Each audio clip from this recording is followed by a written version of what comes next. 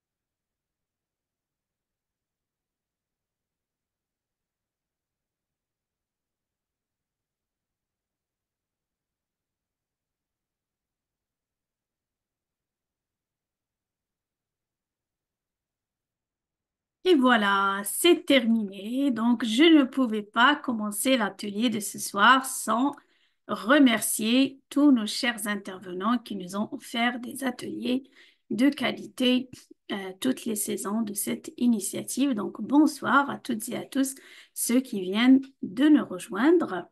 Euh, je me présente pour ceux qui ne me connaissent pas. Je suis Hanan Waziz. Je suis l'initiatrice de cette initiative L'épanouissement pour tous avec plusieurs euh, amis et collègues et pères euh, et confrères et consoeurs, des experts bénévoles que je tiens à remercier parce que sans eux, cette initiative ne pourra pas continuer jusqu'à ce soir. Merci également à tous nos chers participants qui donnent toujours plus de richesse à nos ateliers. Donc, je suis Hanan Ouaziz, je suis coach professionnel certifié ACC ICF. Euh, je suis également coach Ikigai. Pourquoi est-ce que je tiens à dire coach Ikigai? Parce que euh, j'avais découvert l'ikigai il, il y a des années, mais je le pratiquais euh, d'une manière en mode amatrice, comme tout ce qu'on trouve sur Internet. Trouvez votre ikigai en une heure, en une demi-heure, en 15 minutes, en quelque chose comme ça. Sauf que l'ikigai, là maintenant, je le pratique d'une manière professionnelle parce que c'est un outil comme les autres outils d'accompagnement. Ça s'apprend, on se forme, on apprend l'ikigai à travailler, à accompagner avec. En ce qui me concerne, j'ai été formée par deux formateurs et une coach. Et j'ai trouvé que c'est tout à fait différent et tout à fait, c'est pas, c'est pas du tout la même chose d'être euh, formé à l'ikigai comme outil d'accompagnement par une approche de formateur et aussi par une approche de coach. Ainsi, donc j'accompagne avec l'ikigai, je l'ai assaisonné à ma sauce personnelle et également je forme les coachs qui veulent devenir tout comme moi coach ikigai pour accompagner leurs clients avec euh, cet outil tout à la fois que je trouve ludique et puissant. Donc, euh, je suis maman, euh, j'accompagne mes clients sont entre surtout la France et le Maroc et d'autres, quelques autres pays, mais principalement, c'est entre la France et le Maroc. Et euh, j'ai une carrière d'enseignement. Je suis aussi spécialiste du marketing digital et artiste peintre. Voilà donc euh, un petit tour en ce qui me concerne. Et euh, bienvenue à toutes et à tous. Et sans tarder, je passe à la présentation un tout, tout, tout petit peu de théorie. Je sais que vous pouvez tout trouver, euh, l'historique, d'où vient l'ikigai, tout trouver sur cet outil.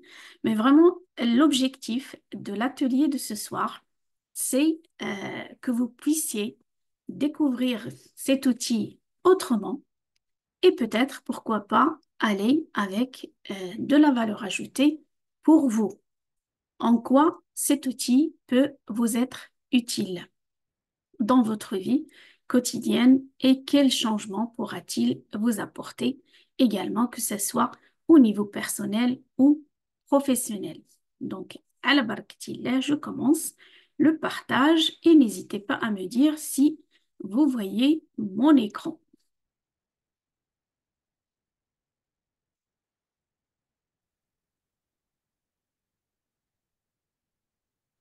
C'est bon, on voit l'écran.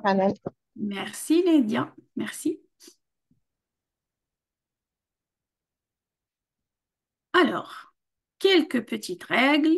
Euh, le rappel est toujours fait du bien, donc les micros, les, haut-parleurs, euh, si jamais vous avez des questions, donc levez la main, surtout que je ne pourrais pas regarder le chat tout le temps. De temps en temps, je vais jeter un coup d'œil, mais si jamais il y a un problème, euh, au niveau du son, ou bien je partage je crois partager sans partager, mais surtout un point très important qui est euh, la confidentialité. Donc, euh, ce que les gens, ce que les participants partagent, j'aimerais bien que ça reste ici. C'est un atelier donc euh, de groupe et donc le respect et la confidentialité sont très très importants. Également, vous avez la possibilité de bénéficier du tarif préférentiel de mon atelier collectif qui sera le jeudi 3 octobre à 19h heure du Maroc, 20h heure de Paris, qui est un tarif de 29 euros. Euh, après, on dira donc l'équivalent, euh, c'est fois 10 ou 11 ou je ne sais pas combien il est la conversion pour le moment, mais sachant que la valeur, la, valeur réelle de l'atelier, c'est 99 euros. C'est un atelier, donc voilà, je l'ai bien mentionné en bas. Il y a un exercice, il y a une feuille de route que vous recevez à l'avance de l'atelier parce qu'il y a un travail d'introspection en préalable à faire. Et ensuite, il y a mon accompagnement en groupe, en collectif. Pour me contacter, vous avez mon blog qui est en maintenance euh, d'ici quelques jours, donc, euh, et mon numéro WhatsApp, mon adresse mail, mon compte LinkedIn. Notre programme pour ce soir, une petite introduction autour de ce que c'est que l'ikigai. La première partie, on va explorer ensemble les quatre cercles. Ensuite, on va faire les intersections. Ensuite, préparer le changement ou bien vous partager les outils qui vont vous permettre de préparer euh, le changement grâce à cet outil. Donc, qu'est-ce que l'ikigai? Que signifie ce mot étrange japonais? Euh, Dites-moi sur le chat, qu'est-ce que pour vous l'ikigai ou bien euh, qu'est-ce que ça signifie pour vous ou qu'est-ce que vous connaissez à propos de cet outil? Quelle est l'idée que vous avez de cet outil?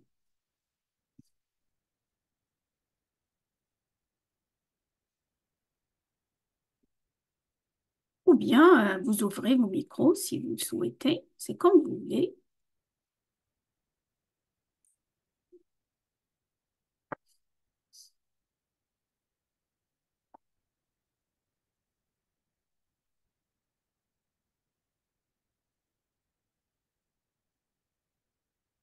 raison d'être, la Lénédia. Kautar, la raison d'être. Ok, merci, merci. Euh, alors, en parlant de Madame Nadia Al-Khattar, euh, qui est présente avec nous, Nadia Al-Khattar, c'est une euh, coach professionnelle qui a plusieurs compétences et est formée à plusieurs outils. Et parmi ces outils, donc, j'ai formé Nadia à l'accompagnement avec l'ikigai. Donc, pour tous ceux qui veulent assister et bénéficier d'un atelier ikigai, que ce soit un atelier de groupe ou un accompagnement individuel et que vous êtes sur Casa, vous n'avez, vous n'avez qu'à contacter Nadia.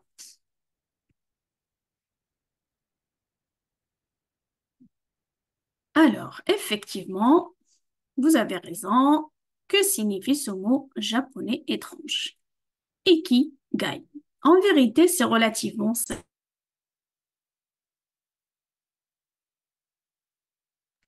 Pardon, j'ai désactivé le son sans vouloir.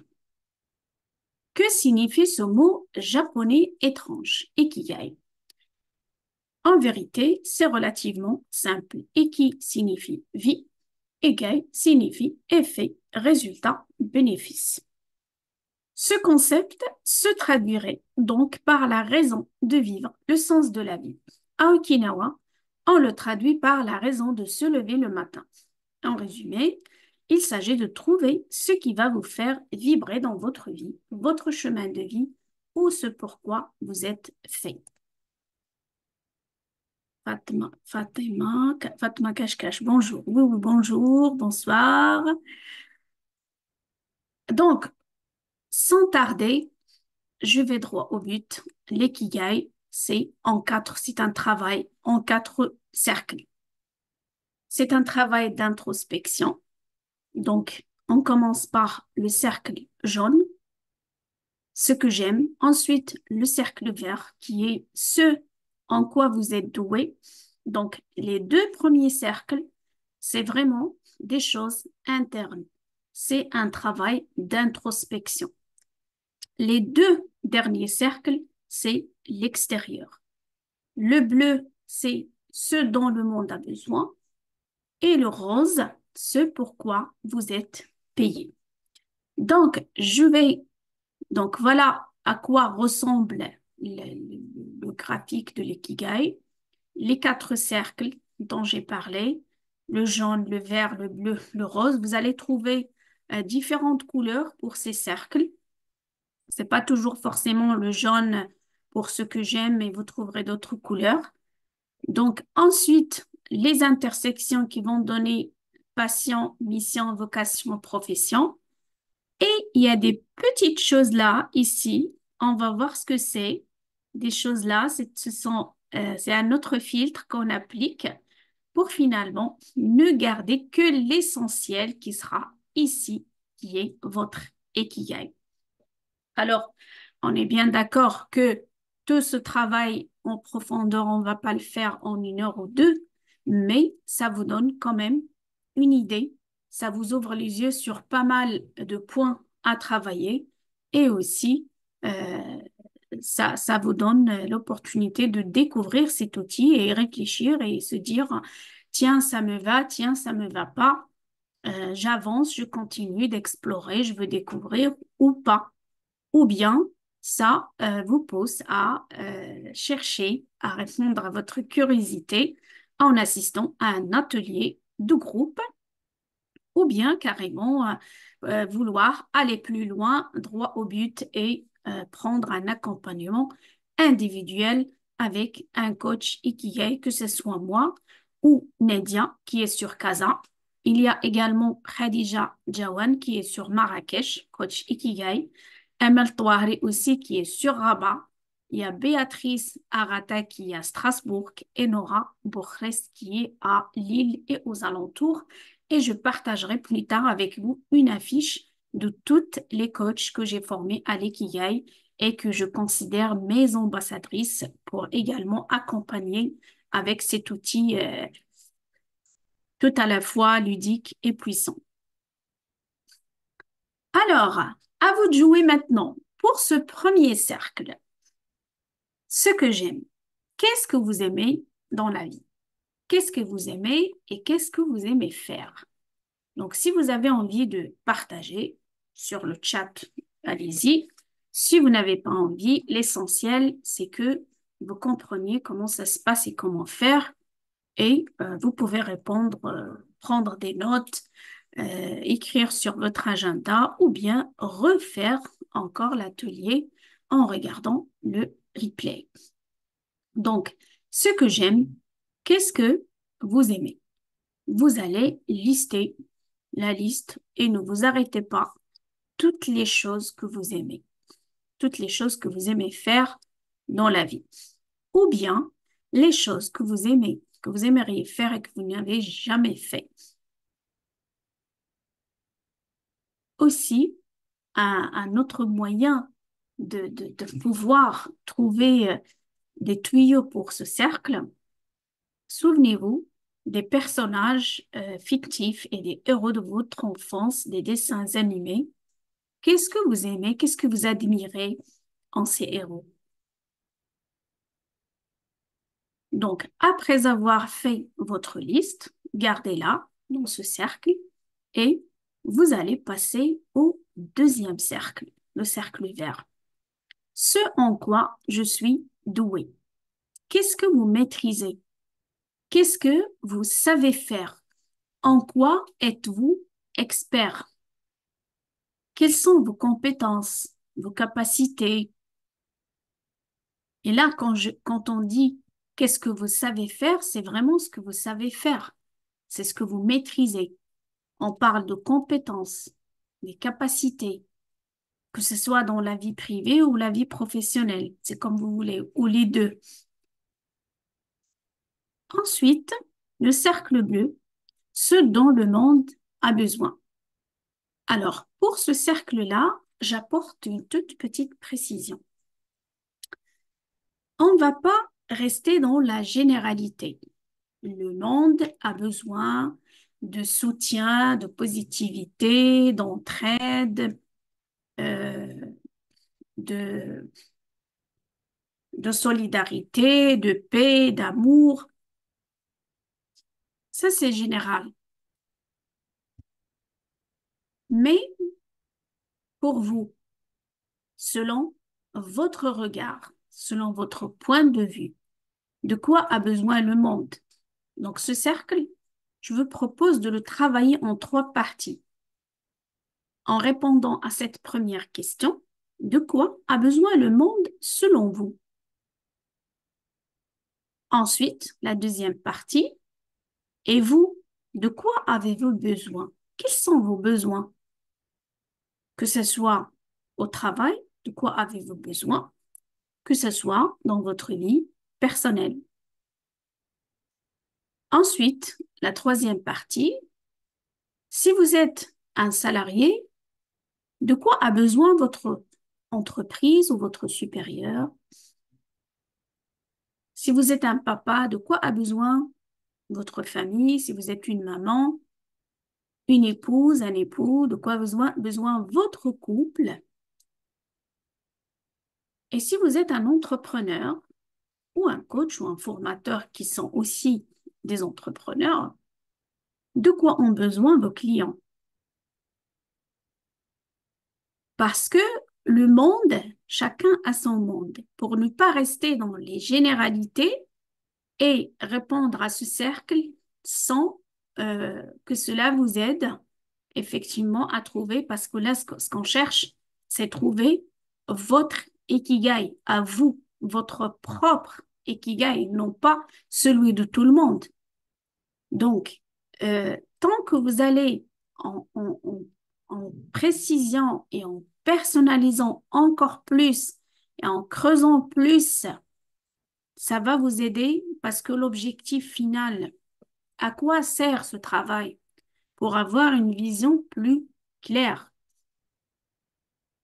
Beaucoup, surtout de gens, ont plusieurs compétences, plusieurs casquettes, un haut potentiel, ils savent faire beaucoup de choses. Et ils aiment aussi beaucoup de choses. Donc, quoi faire Comment choisir Comment savoir qu'est-ce qui est mieux pour moi Comment savoir ce que veut le marché de travail Et aussi, comment se mettre en valeur. Si moi-même, je ne connais pas mes qualités, je ne connais pas mes capacités, mes compétences, comment est-ce que l'autre euh, va les, les connaître? Comment est-ce que l'autre va savoir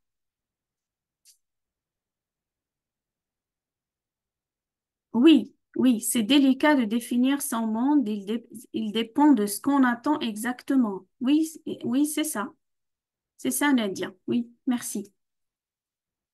Ensuite, le cercle rose, ce pourquoi je suis ou bien serai payé. Alors, là, il se peut que vous savez faire beaucoup de choses, vous maîtrisez beaucoup de choses. Mais ça ne veut pas dire que vous serez payé sur tout ça. Et même si c'est le cas, vous serez payé pour pas mal de choses, est-ce que vous allez continuer à tout faire? Parce que le fait euh, de tout faire, ça, pousse à ce que ce que vous maîtrisez, et ce qui vous rend unique, et là le risque de se noyer dans tout ça. Donc, choisir, mais comment faire ce choix? Comment choisir? Comment prioriser? Et aussi, sur quoi je serai payé? Si jamais vous êtes un salarié et que dans votre entreprise, vous voyez que il y a des choses, donc parce qu'on parle du monde, le monde a changé. il faut qu'on change également avec. Les entreprises ont changé, le marché du travail a changé, les clients également ont changé, donc tout a changé, l'environnement change. Donc il se peut que, il se peut qu'il y a des choses que je peux faire et sur lesquelles je serai payé ou bien mieux payé. Donc ça peut faire l'objet d'un prochain objectif, d'une prochaine montée en compétences. Ensuite, et quelle est la suite Et après, donc, vous avez fait, vous avez trouvé les réponses à ces cercles et qu'est-ce que vous allez faire avec? Donc, vous avez trouvé les, vous avez répondu au premier cercle, deuxième, troisième, quatrième. Qu'est-ce qu'on fait avec tout ça? Avec toutes ces réponses, qu'est-ce qu'on va faire? Nous allons travailler les intersections. Mais avant de passer aux intersections, je vais arrêter le partage pour vous voir et vous demander est-ce que c'est OK pour vous jusque-là? Est-ce que vous avez des questions avant de passer au travail des intersections? Donc, vous pouvez ouvrir vos micros, vos caméras ou m'écrire sur le chat. C'est vraiment libre à vous, c'est comme vous voulez. Alors, je vois un pouce de notre euh, coach Ikigai, Nadia. Merci. Qui d'autre? Est-ce que vous avez des questions? Est-ce que vous avez répondu à un des cercles? Est-ce que vous avez déjà des réponses que vous avez envie de partager?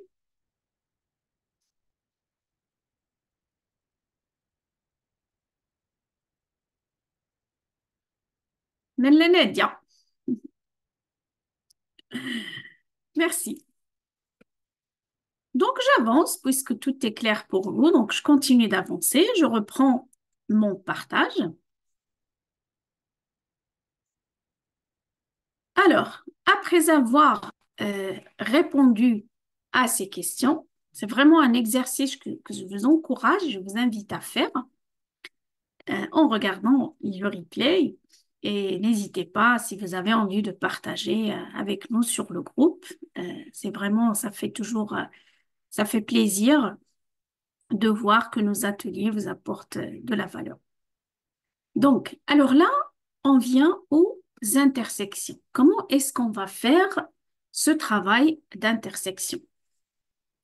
Vous allez prendre votre liste, la liste que vous avez notée sur votre cercle, ce que j'aime, et la liste que vous avez notée sur le cercle, ce pourquoi je suis doué et vous n'allez garder que les points communs, les choses communes. J'insiste et je répète, il faut faire un choix. Là maintenant, on est, on est face au choix. On est en train de faire un choix. Alors pourquoi est-ce que j'insiste sur le fait que, que les choses communes? C'est un effort mental à faire. C'est vraiment, il se peut que vous allez vous retrouver à faire des concessions, à faire des choix, mais il le faut. C'est ce qui fait que, à un moment donné dans la vie, nous sommes perdus. Parce que on ne sait plus qu'est-ce qu'on aime, on ne sait plus euh, est-ce qu'on aime vraiment, et surtout qu'est-ce qui fait qu'on aime ceci, qu'on n'aime pas cela, et aussi qu'est-ce qu'on maîtrise? On se retrouve à maîtriser plusieurs choses. Il se peut à avec des niveaux différents. On a plusieurs compétences, plusieurs casquettes, un haut potentiel, multiple potentiel. Ah, donc quoi faire? Comment trouver cette chose ou cette activité qui fait de nous quelqu'un qui va se démarquer, quelqu'un qui est unique pour ce qu'il est et ce qu'il fait. Parce que nous sommes uniques. Mais comment le montrer? Comment l'incarner également? Comment déjà le comprendre? Parce que l'ikigai, c'est surtout un outil de connaissance de soi. Parce que c'est en se connaissant qu'on peut se mettre en valeur.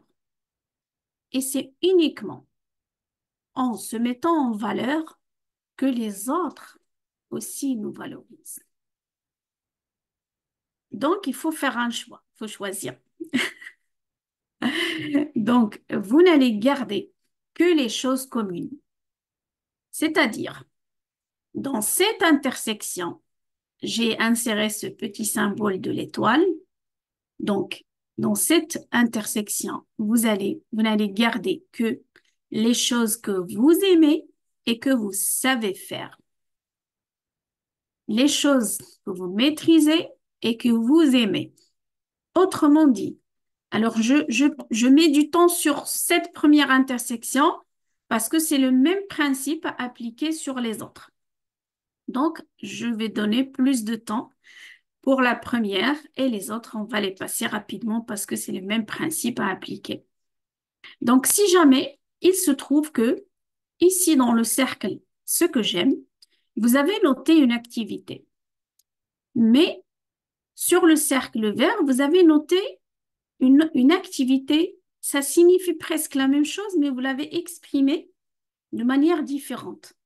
Vous allez choisir l'expression qui vous convient le mieux, qui décrit le mieux cette activité, et vous allez la garder dans cette intersection. Donc, les choses que vous trouvez dans la liste du cercle, ce que j'aime, mais qui ne sont pas dans le cercle vert, vous allez les supprimer. Vous n'allez pas les garder dans l'intersection. Les choses aussi que vous trouvez dans votre cercle vert et qui ne sont pas dans le cercle j'aime, vous allez les supprimer. Vous n'allez pas les garder dans l'intersection. Pour récapituler, dans cette intersection, vous allez garder les choses que vous aimez et savez faire. Les choses que vous aimez mais que vous ne savez pas faire, vous n'allez pas les garder. Les choses que vous maîtrisez et que vous savez faire, mais que vous n'aimez pas faire, vous n'allez pas les garder.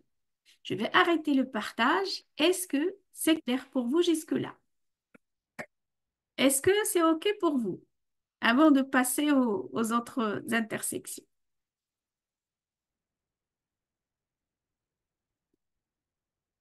Je comprends que c'est OK. C'est très clair. Merci, Hani. Merci, Kautar. Merci pour ta réponse. Donc, ensuite, donc, c'est pareil pour les autres intersections. Pardon.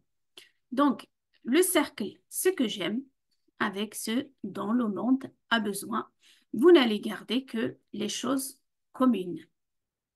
Ensuite, la troisième intersection, ce dont le monde a besoin, ce pourquoi je peux, je suis ou je peux être payé. Et la dernière intersection, ce pourquoi je suis doué et ce pourquoi je peux être payé. OK. Un autre filtre, après les intersections, après avoir supprimé et euh, faire travailler les ménages pour faire des choix, pour prendre des décisions, des concessions, des négociations avec soi. C'est vraiment tout un, tout, un, tout un sacré, sacré, sacré boulot, sacré effort, mais ça vaut le coup. Euh, croyez-moi, ça va vous permettre de voir plus, plus, plus clair, une vision plus claire et euh, ça va vous, vous aider euh, à, à régler pas mal de choses et à avancer dans votre vie. Donc, un autre filtre il se peut que euh, euh, euh, là, on est en train de faire ce qu'on appelle à la marocaine shtato, vraiment, vraiment. On est dans le, détail du détail, la précision. après avoir appliqué le filtre des intersections, on a un autre filtre à appliquer. Il se peut que, après avoir supprimé plusieurs activités suite aux intersections, vous aurez encore peut-être d'autres à supprimer. C'est-à-dire, il se peut que il y a des activités que vous avez gardées qui vous procurent euh, satisfaction, mais qui vous évoquent un sentiment d'inutilité. Donc, vous allez les supprimer. Aussi, dans euh, l'intersection patient, il se peut qu'il y a des activités qui vous procurent plaisir et épanouissement, mais précarité. Aussi, il se peut qu'il y ait des activités qui sont confortables, mais sentiments de vide ou d'ennui. Il se peut que vous avez gardé des activités qui vous procurent excitation, motivation, joie, satisfaction, mais sentiments de doute et d'incertitude. Je vais donner un petit exemple pour que vous puissiez voir plus clair. Par exemple, euh, patient, euh, des activités qui vous procurent euh, plaisir, épanouissement, mais précarité. Je vais prendre l'exemple d'une femme, une femme salariée par exemple, qui aime la peinture. Elle fait de très jolis tableaux, elle veut devenir artiste peintre, donc sa passion, c'est vraiment les beaux-arts, l'art plastique, et elle veut, elle rêve vivre de sa passion. Donc, elle aime bien, elle maîtrise, donc elle a des compétences, elle a des capacités à ce niveau. Sauf que quand on vient au cercle rose, est-ce que c'est quelque chose sur laquelle elle peut être payée? Peut-être que oui, mais est-ce que c'est suffisant pour elle? Donc, il y a la précarité. il y a le côté ou l'aspect financier. Donc, après avoir fait ce travail d'ikigai, quelle est la solution? Au lieu de se retrouver avec, au lieu de se retrouver, pardon, se retrouver bloqué ou bien perdu entre est-ce que à moitié du chemin, est-ce que je choisis ma passion, mais je vais manquer d'argent Est-ce que je vais continuer dans ce travail que je n'aime pas et qui me procure plus, euh, qui, qui, me, me, génère plus de stress et qui dit stress dit euh, vie non confortable dans tous les niveaux. En faisant le parcours Ikigai, ça permet de préparer ce changement parce que la personne n'aime plus son travail ou n'aime pas ce qu'elle fait, elle a une autre alternative qui lui procure du plaisir et de l'épanouissement, mais l'aspect financier exige. Donc, ça ne veut pas dire qu'on va dire non, c'est pas possible et rester dans cette situation. Et ça ne veut pas dire quand même euh, donc, la personne ne va pas se jeter comme ça. Euh, c'est un risque non mesuré. Prendre des risques et dépasser ses limites, c'est bien. Mais si on les planifie, on prépare, c'est encore mieux.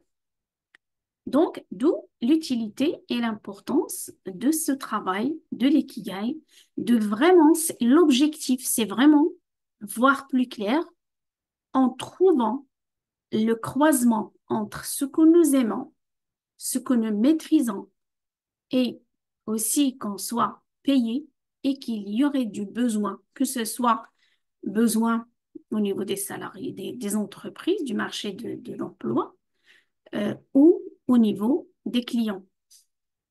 La même chose aussi pour un entrepreneur ou bien un porteur de projet qui sait faire beaucoup de choses. Il aime également beaucoup de choses, mais euh, il veut, il pense à se lancer dans l'entrepreneuriat. Mais quoi faire? Et surtout, euh, souvent, qu'est-ce qui fait que la personne est perdue? Ce sont des gens qui veulent changer de l'activité salariale, pas seulement euh, comme, pas seulement pour l'objectif de l'argent, ou bien pas comme seul objectif gagner de l'argent, ils le gagnent déjà. Il se peut qu'ils ont déjà un gros salaire, donc, ce n'est pas leur priorité. Certes, quand on veut créer, quand on veut lancer un projet, c'est du business, on a intérêt à que ce soit rentable. Mais si on arrive à trouver un équilibre qui nous permet de profiter d'un temps de qualité en famille et faire ce qu'on aime et qu'on soit payé, c'est encore l'idéal. Donc, ces gens-là, ils cherchent. Quel est? Donc, ils cherchent à croiser la personne et le projet. Quel est le projet entrepreneurial qui va avec ma personne? Donc, c'est vraiment, euh, je ne sais pas si, j'étais assez claire euh, pour ce deuxième filtre qui est euh, ces points de vigilance après les intersections. Un exemple, je vous partage pour que vous puissiez voir encore plus clair et comprendre comment ça marche le, travail de l'ikigai. Donc là, vous avez, euh, regardez les couleurs, elles sont différentes, ne, ne prêtez pas trop d'attention aux couleurs. Donc là, c'est la première liste. Regardez, c'est l'ikigai que j'ai pris sur Internet. Euh, donc, c'est une personne qui a trouvé la liste, elle était longue au début. Donc, c'est les premiers cercles que je vous ai montrés. Le cercle euh, en quoi je suis douée, donc les compétences. Euh, le cercle ce que, ce que j'aime et aussi ce dont le monde a besoin et ce pourquoi je suis payée. Donc, ce sont les listes, si vous arrivez à voir mon curseur. Donc, les premières listes Ensuite, ici, ce sont les intersections. Donc, la personne a supprimé les, les, répétitions, euh, elle, elle a gardé les choses communes et aussi, elle a supprimé ce qui n'est pas commun pour les deux cercles pour trouver les intersections. Et ensuite, elle a appliqué l'autre filtre pour garder finalement que trois mots. Regardez combien elle était très très vaste cette liste pour sortir finalement avec trois mots. Donc, voyage, coaching, enseignement. Euh, comme ce type d'ikigai, ce sont des personnes qui font, qui organisent euh, les week-ends euh, de coaching, les week-ends de développement personnel ou bien les retraites féminines parce que ce sont des gens qui se trouvent à aimer voyager, ils aiment ou bien ils sont experts dans le coaching, ils maîtrisent l'enseignement et la formation. Donc, l'activité, leur raison d'être professionnel, c'est faire quelque chose dans laquelle il y a le voyage. Ils vont voyager, ils vont coacher, ils vont enseigner. Je ne sais pas si, euh, si c'est clair pour vous. Euh, et si vous avez des questions, donc n'hésitez pas. Donc, OK, j'ai répondu aux quatre cercles, j'ai fait mes intersections, j'ai appliqué euh, les autres filtres, des points de vigilance. Et après, qu'est-ce que je vais faire avec tout ça? J'arrête le partage, j'aimerais bien vous écouter. Qu'est-ce qu'on va faire avec tout ça? Quelle est la suite, à votre avis? Je vais voir le chat. Peut-être que j'ai des messages ou des questions sur le chat. C'est très clair, merci, c'est clair. Bah, super, c'est très clair. Super, je suis contente. Est-ce que vous avez des questions? Ou bien, quelle est la suite? Qu'est-ce qu'on va faire avec tout ça? C'est Youssef, Claire, merci.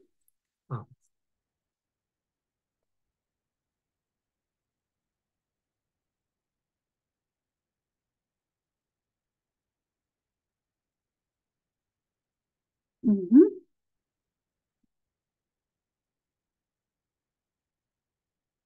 J'ai bien trouvé notre mission de vie. Uh-huh.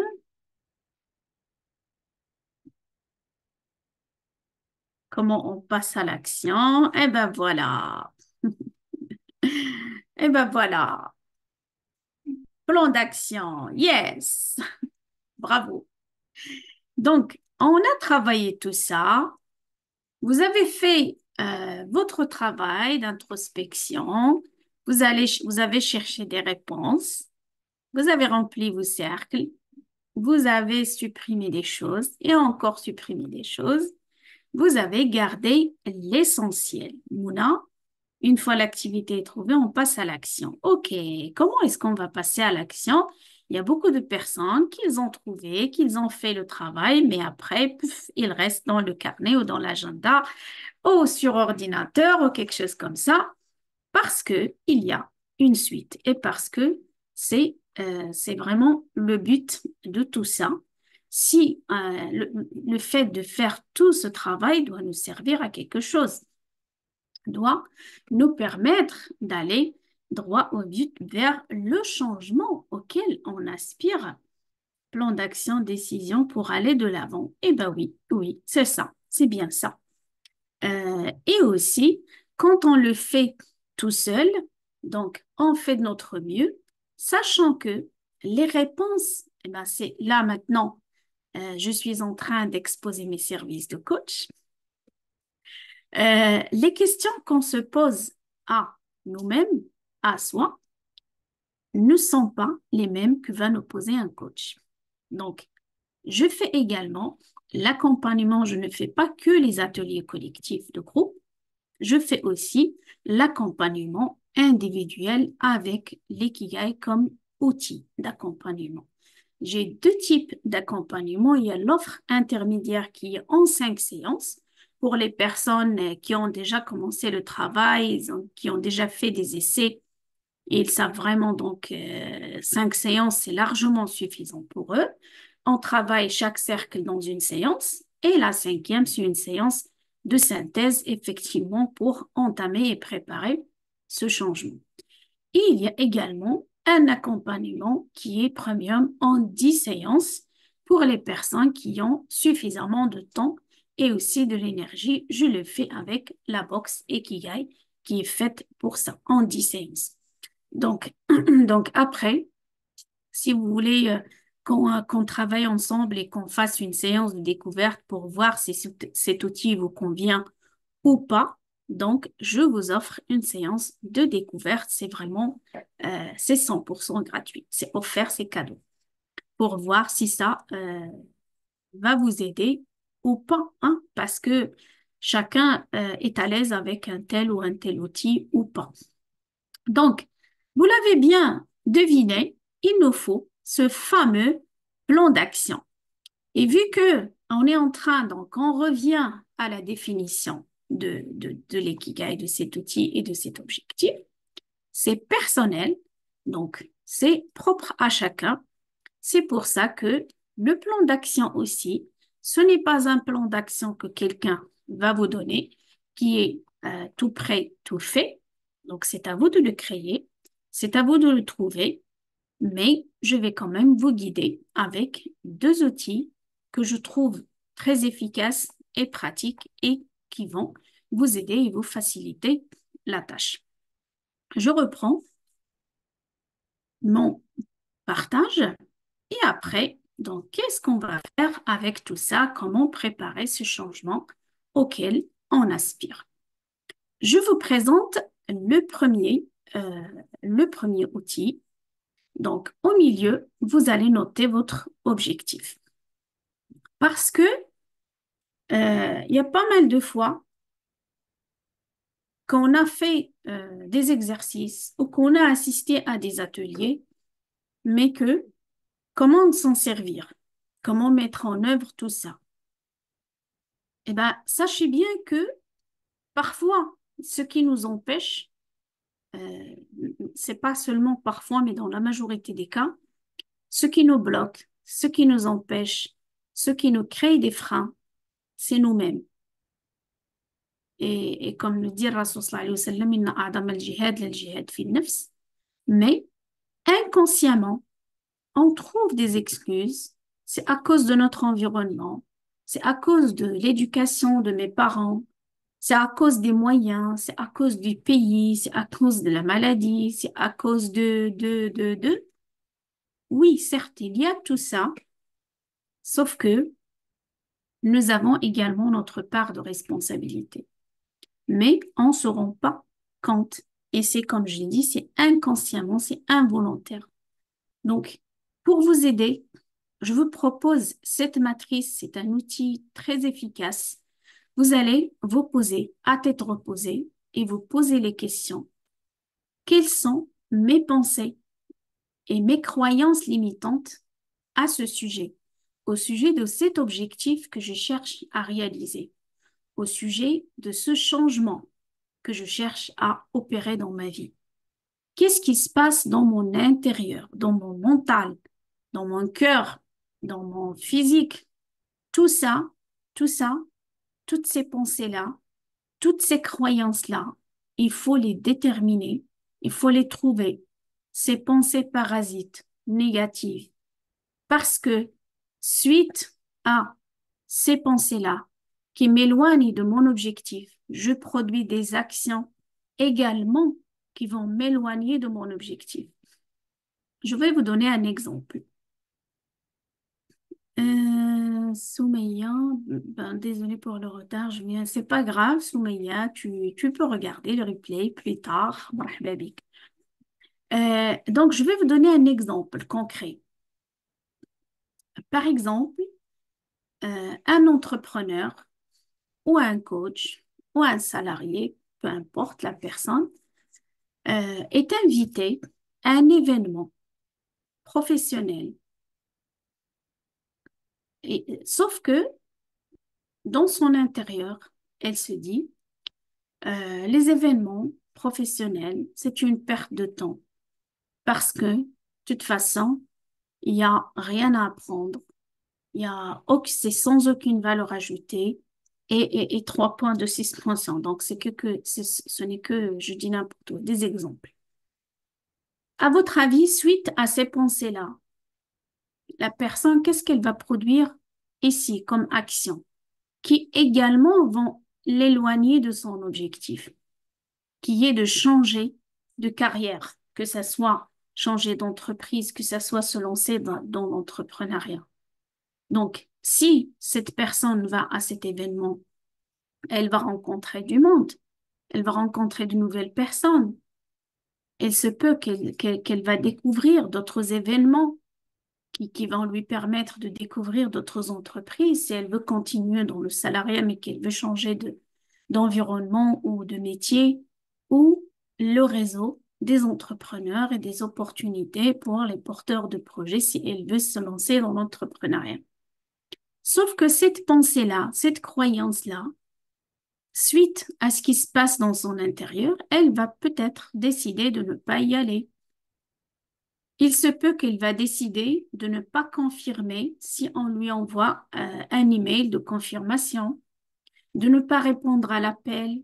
Donc, suite à ce qui se passe en moi de négatif, qui m'éloigne bien sûr de mon objectif, je produis des actions qui m'éloignent, qui ne m'aident pas. Et le fait d'en être conscient, ça fait toute la différence. Comme on dit dans notre jargon de coaching, la prise de conscience, c'est déjà la moitié du chemin. Parce que euh, on veut changer, vous allez trouver pas mal de personnes qui vont vous dire, mais moi, je veux changer cette situation désagréable, mais il ne sait pas comment. Parce qu'il ne sait pas quoi changer. Qu'est-ce qu'il faut changer pour changer la situation? Ensuite, on arrive au positif. Quel est l'enjeu pour moi? Quel est le sens que le fait d'atteindre cet objectif va donner à ma vie? Autrement dit, donner un pourquoi puissant à mon objectif. Qu'est-ce que cela va apporter à ma vie comme changement? Quelles sont mes motivations à ce sujet, à cet objectif? C'est suite à tous ces, euh, ces, ces choses-là positives qui se passent dans mon intérieur qui vont me pousser et me booster à produire des actions qui vont me permettre à aller vers mon objectif. Je vais vous donner un exemple. Euh, quel est l'enjeu, par exemple? Euh, Pourquoi est-ce que je dis quel est le sens que je donne à mon objectif? Par exemple, euh, quelqu'un qui veut faire une formation, mais qui ne trouve pas le temps. Quel est le, le pourquoi puissant ou bien quel est le sens qu'il peut donner à cette formation? Comment trouver le sens? Comment rendre cet objectif puissant? C'est se poser la question, pourquoi est-ce que je veux cette formation? Ok, faire une visualisation positive, j'ai terminé cette formation, j'ai eu ce diplôme. Quelle est la suite? Je vais avoir une promotion dans mon travail, ou bien je vais changer de métier, ou bien peu importe ce que la personne veut faire. D'accord. Et quelle est la suite? Quels sont les changements qui vont venir avec? Euh, Comme une personne que j'ai accompagnée ici en France qui était en train de préparer l'examen ADVF pour devenir auxiliaire de vie aux familles, et elle était stressée parce qu'elle a peur d'échouer à l'examen. Mais quand on a travaillé sur le sens et le pourquoi puissant de son objectif, je lui, je lui ai posé une simple question. Qu'est-ce que vous allez gagner en obtenant ce diplôme? Elle m'a dit, je vais trouver un emploi mieux que celui-là, je, serai mieux payée. D'accord. Et qu'est-ce qui va changer dans votre vie quand vous serez mieux payé elle, m'a répondu, je vais changer d'appartement. Mes enfants auront une chambre chacun. Mon mari va être soulagé, ne sera plus obligé de travailler les week-ends. Donc, regardez comment est-ce que de la peur de l'examen et du jury, on, est, euh, on a donné le sens. Donc, donnez, cherchez quel est le sens, quel est ce changement puissant que cet objectif va apporter à votre vie? Autrement dit, quel est le vrai objectif derrière votre objectif? C'est vraiment ça. Et si vous connaissez la pyramide des niveaux logiques, la pyramide de 10, ben le haut de la pyramide, c'est le sens. Donc, tous les niveaux sont pilotés par le sens qui est le haut de la pyramide. Donc, sans tarder, pour encore mettre en pratique cet outil, après avoir fait cet outil, je vous invite à passer à l'étoile. Ici, je vous ai mis une petite étoile, mais vous allez la retrouver ici en plus grand. Vous allez encore reprendre votre objectif. Qu'est-ce qui va vous permettre d'obtenir et d'atteindre cet objectif? Vous allez encore faire ce travail d'introspection. le, le, le, détective Conan. Et vous posez la question, qu'est-ce que je peux créer de nouveau dans ma vie et que je ne fais pas encore? Que je n'ai jamais fait, mais qui peut m'aider et me faciliter d'avancer vers mon objectif. OK? Et qu'est-ce que je fais actuellement, mais qui m'empêche ou qui me retarde ou qui me ralentit vers mon objectif. C'est des choses que je vais commencer à moins faire, à que ce soit diminuer la quantité, que ce soit la fréquence, que ce soit la durée, que ce soit... C'est à vous de voir. Et quelles sont ces choses-là que je fais et qui m'aident à aller vers de l'avant, vers mon objectif, et que je vais commencer à faire encore plus? Augmenter la durée, la fréquence, la quantité, c'est à vous de voir. Et qu'est-ce que je fais déjà et qui marche bien et que tout simplement je vais continuer à faire. Et qu'est-ce qui ne m'aide pas du tout et que je fais actuellement et que je vais arrêter de faire, que ce soit définitivement ou provisoirement? Et qu'est-ce qui peut marcher, mais que je ne, fais pas, je sais le faire, mais je ne fais pas encore, donc je vais le mettre en action. Déjà, le fait de trouver et de chercher toutes ces réponses-là, je suis sûre que vous allez changer beaucoup de choses. Merci pour votre attention et je vais arrêter le partage et je vous écoute à vos questions.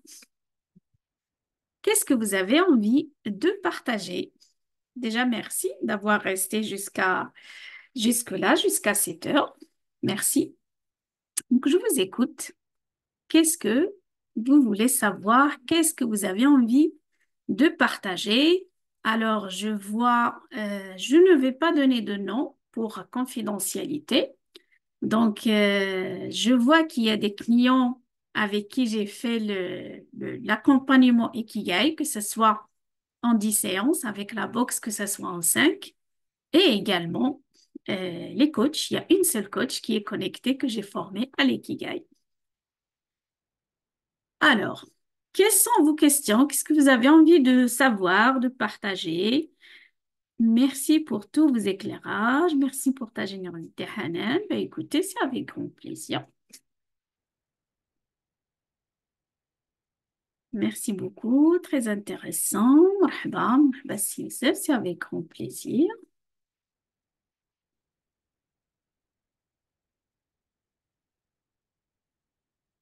Qu'est-ce que vous avez envie de partager avec nous?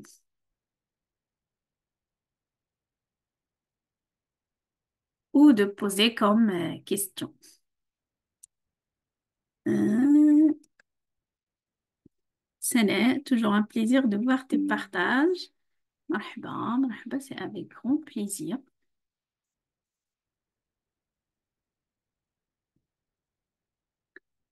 C'est un travail à faire à titre reposé. Oui, c'est ça, c'est ça. Vous allez, euh, je vous invite vraiment à regarder le, replay et à suivre euh, les cercles et euh, les quelques instructions que j'ai partagées avec vous pour finalement arriver à trouver. Et n'hésitez pas, pour ceux qui le souhaitent, à partager avec nous. Je trouve que c'est un outil très intéressant. Cela nécessite un travail important sur soi. Merci pour ta générosité. Avec grand plaisir, Mina. C'est très généreux. Bravo, Hanan. Merci, Si Mohamed. Soumaya, j'ai raté le début. C'est un plaisir de vous entendre. Hanan. Marhaba, Soumaya. C'est avec grand, grand plaisir. Donc, merci. Merci pour euh, vos retours. Merci pour vos encouragements. Kauta, merci pour le partage. C'est une découverte pour moi, cet outil. Ben, super, ça fait du bien. Ça fait du bien.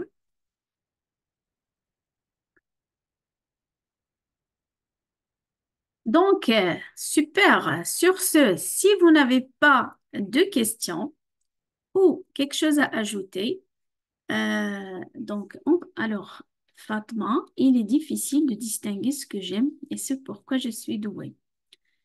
Euh, Bougros, c'était intéressant, bravo et merci, je vous en prie.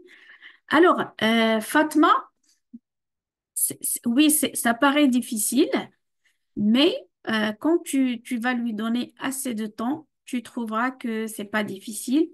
Et d'où aussi l'importance de l'accompagnement d'un coach parce que nous avons des outils d'accompagnement qu'on utilise en individuel, effectivement, pour que la personne trouve ce qu'elle aime vraiment.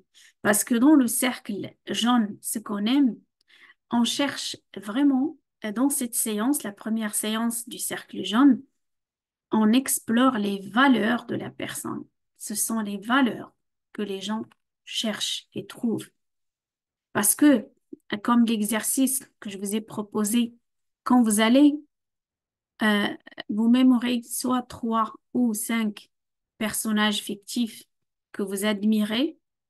Euh, en notant ces personnages-là, si vous vous posez la question, qu'est-ce que vous aimez vraiment dans ces personnages-là? Pourquoi est-ce que vous les admirez? Vous allez trouver qu'ils ont les mêmes ou bien qu'ils défendent les mêmes valeurs que vous. Sinon, ils ne vont pas vous attirer, vous n'allez pas les aimer. Et aussi, euh, pour le cercle des compétences, on travaille également avec des outils pour que la personne libère son potentiel. C'est dans ce cercle-là, c'est l'objectif, c'est libérer son potentiel, trouver ses forces de caractère et ses compétences professionnelles et personnelles. Super, super. Bien, bien, bien. Ben, écoutez, euh, merci beaucoup d'avoir euh, assisté à cet atelier. C'était prévu une autre coach qui allait nous faire euh, l'atelier d'aujourd'hui. Euh, mais euh, parce qu'elle a des empêchements personnels, elle nous fera un autre atelier. Donc, je vous ai fait l'atelier de l'ikigai. J'ai démarré la saison cette année. Donc, merci à toutes et à tous pour votre présence. Merci pour toute la richesse que vous donnez à nos ateliers, pour vos encouragements, c'est grâce à vous que cette initiative continue, donc continue à illuminer nos ateliers. Et aussi, je remercie encore une fois nos chers intervenants bénévoles. Merci infiniment.